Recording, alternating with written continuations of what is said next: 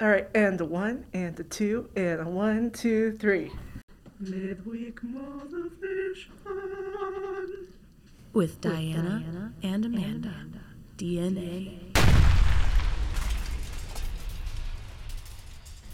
Hey, friend. How are you? Hey. Uh, I'm sweating a little bit. I'm not gonna lie. Like walking from Swem to Boswell, if you Through the cloud familiar, forest? through the forest, Mm-hmm. up the meadow and around the corner, it was it was a hike. I had to rush to get here. I was Mm. I'm not gonna lie, I was a little bit late. Um, so I'm sweating right now. So I apologize. Well, I don't really you? know a good way to segue into our no topic way. for today. There's a lot of but How, information. did you find the walk accessible? Uh, you know, I did find the walk pretty accessible. Oh, I I'm sure glad you brought up accessibility because today we are talking about Blackboard Ally. Blackboard Ally. That's Um, right. Faculty might have noticed when they came back for the fall semester that their courses suddenly had um, a little extra embellishment, a little extra decoration, um, some colorful dials in Blackboard, um, and frankly, most of them were probably red when you first noticed them. Um, some of them might have been orange, and then, you know, occasionally here and there you might have seen a green dial. So those funny little dials, we're going to put a picture in the video um, in Blackboard on your site. That's what we're here to talk about today. Blackboard Ally. Right, and the dials.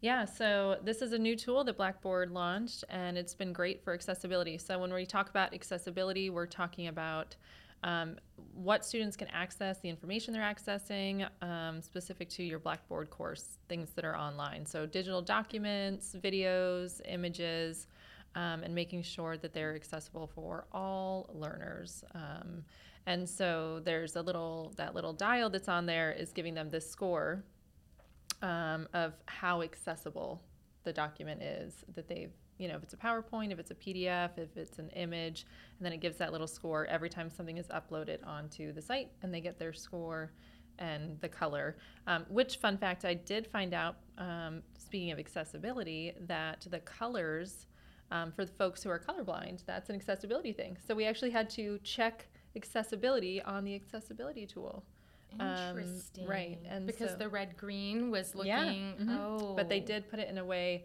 um, the response we got was that it was um, as as it was done as well as it could be for those folks that might um, suffer from being colorblind So we're going to talk to you about some quick tips that you can, um, if you've if you are a person who has been ignoring those dials, um, or if you're a person who just has uh, not really known what to do with them, we're going to talk you through some quick tips about how you can um, embrace uh, the green.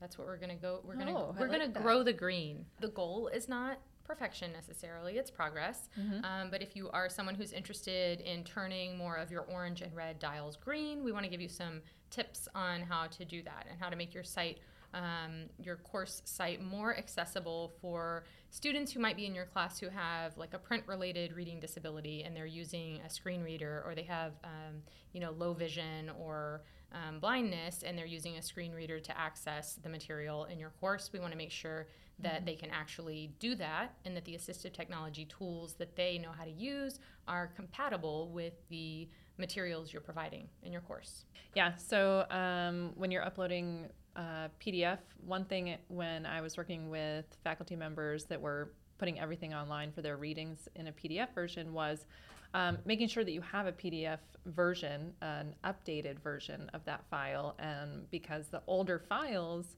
um, don't work for the screen readers. So make sure you have an updated version of your PDF, um, that it's a clear PDF.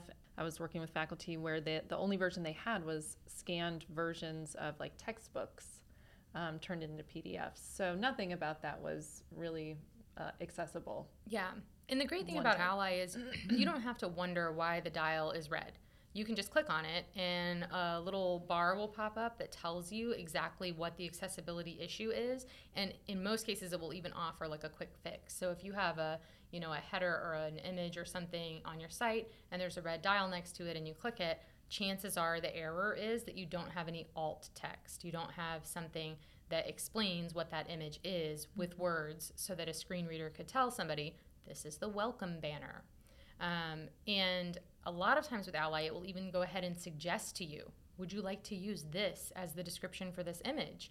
Um, if you don't like the description, you can type in something of your own and just hit save. You'll instantly see the dial change from red to green. Um, and then with the PDFs, if you're clicking on it and it's saying this PDF is not a tagged PDF, definitely reach out to libraries. Are they gonna are they gonna be mad at us? Okay. This is a plug for Yeah, libraries. it's a plug for libraries. or you could Um, start with the database at the library before actually going to the library. I That's just sa- better. I just saved us from. Roy, please make a note. But one other thing I would also recommend, um, well, we're talking accessibility with this um, with Ally, is it's not just for those that have a hard time reading the screen, but also thinking about um, in your slides and your videos, making sure that you've got cap- uh, captions. yeah, Wow, the don't Midwest. you know? The Midwestern in me just came out. I thought I lost that 15 years ago. Anyways, um, yeah, captions on your videos um, as well. So, so all those little tweaks that you can make in your course to make sure that you're thinking about anybody with any type of learning disability. Um, you know, the captions on your videos and in your PowerPoint presentations, those are also important. Yeah, and we're going to do a future episode about just overall like course navigation, organization, um, thoughts and tips. Um, But this specifically is about those beautiful, colorful little dials in Blackboard. Mm-hmm. Yeah, so click on them. Um, if you if you notice them in your course, go ahead and click on those dials, see the suggestions they're making, and obviously, as always, reach out to Steely if you have questions about the dials um, and and the suggestions they're making, or if you need just some suggestions on what to do and and, and how to make your course and your documents more accessible. You because we're accessible. We're so accessible. Just Mhm. anytime. Call on us Yeah. anytime. You can use my cal- calendar calendly. Calendly, Calendly link. That's for a future episode. Future episode, we'll talk about her. Calendula. We should leave. We're done here.